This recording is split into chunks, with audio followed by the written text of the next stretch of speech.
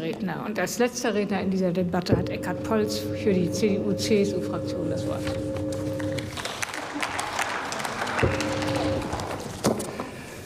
Frau Präsidentin, meine sehr geehrten Damen und Herren, liebe Kolleginnen und Kollegen!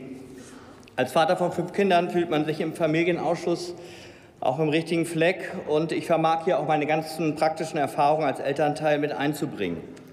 Ebenso verhält es sich mit dem Blick auf meine Mitgliedschaft in der Kinderkommission seit dem 17. Deutschen Bundestag. Und in der Zeit meines Vorsitzes in der Kinderkommission habe ich etwas gesagt, zu dem ich auch noch heute stehe. Ohne Kinder ist kein Staat zu machen, ohne Kinder gibt es keine Zukunft.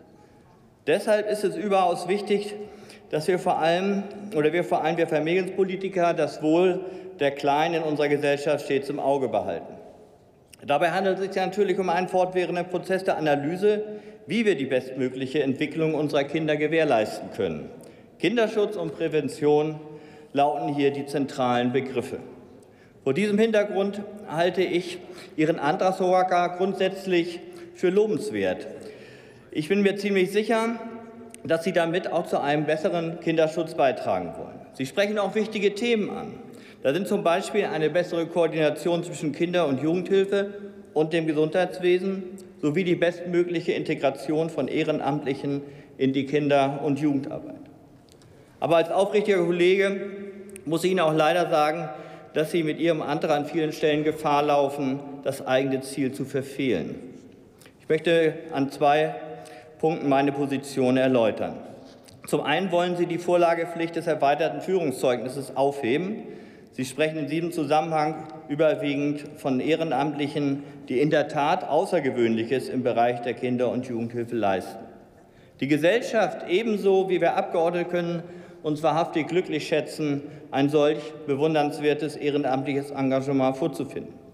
Deshalb plädiere auch, ich dafür, Ihnen die Aufnahme eines entsprechenden Ehrenamtes so leicht wie möglich zu machen.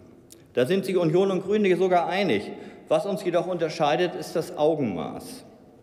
Ausgerechnet beim Kindeswohl, und ich betone beim Kindeswohl, wollen Sie die gesetzlich vorgeschriebene Vorlagepflicht des erweiterten Führungszeugnisses abschaffen ohne Prüfung, ob dies auch zweckdienlich wäre. Dabei sollten wir jedoch stattdessen rein gewissens in den Spiegel schauen und sagen können, unsere Kinder befinden sich in guten Händen. So vermag es allerdings nur sein, wenn wir den Personen, denen wir die, unsere Kinder in Obhut geben, auch wirklich vertrauen können. Natürlich sehe ich das Unbehagen auch bei denjenigen, die sich eben um unsere Kinder kümmern, wenn sie dem Träger ihr erweitertes Führungszeugnis vorlegen müssen. Dies gilt laut Gesetz für die hauptamtlichen Mitarbeiterinnen und Mitarbeiter der Kinder- und Jugendhilfe wie auch für Ehrenamtliche gleichermaßen. Allerdings muss zuerst geprüft werden, ob gleichwertige Alternativen zur derzeitigen Vorlagepflicht wirklich bestehen. Und ich sage Ihnen, gerade beim Thema Kindeswohl muss hier Sorgfalt vor Schnelligkeit gehen. Angesichts dessen will ich vielmehr unserer unionsgeführten Bundesregierung mal ein großes Lob aussprechen Sie geht äußerst bedächtig und vertrauensvoll mit dem Kindeswohl um. Sie wird die Zweckdienlichkeit des sogenannten Negativattestes, welche die Grünen in ihrem Antrag vielleicht auch schon als weißer und letzter Schluss verkaufen wollen, eingehend prüfen. Eine Prüfung wird die Regierung auch weiterhin oder hinsichtlich der Frage vornehmen, ob bestimmte andere schwere Straftaten die heutzutage noch nicht zum Ausschluss von Tätigkeiten aus der Kinder- und Jugendhilfe führen, mit in den Katalog der ausschussrelevanten Straftaten einbezogen werden. Vor dieser Überprüfung sind etwa Totschlags- oder schwere Körperverletzungsdelikte betroffen, und das finde ich gut.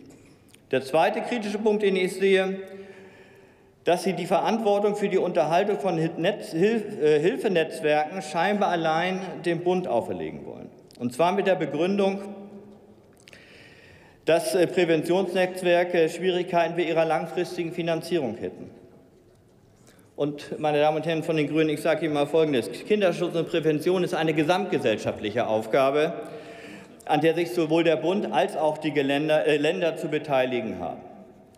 Wenn Sie Ihre eigene Landesregierung äh, dieser Verantwortung entziehen, ist das ein Problem, das vor allem die Länder zu lösen haben und nicht nur auf Bundesebene wie auch in anderen Politikbereichen äh, nach dem Bund zu rufen. Das ist ja immer sehr einfach und äh, ich halte es aber an dieser Stelle für deplatziert.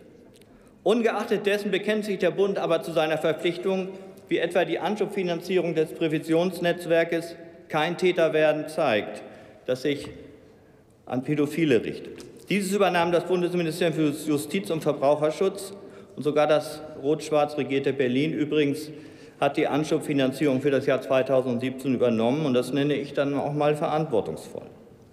Aber zu guter Letzt möchte ich tatsächlich auch noch mal eine Sozialdemokratin zitieren.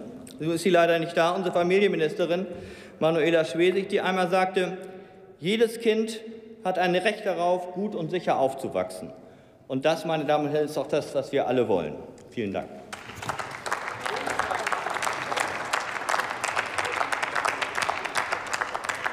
Ich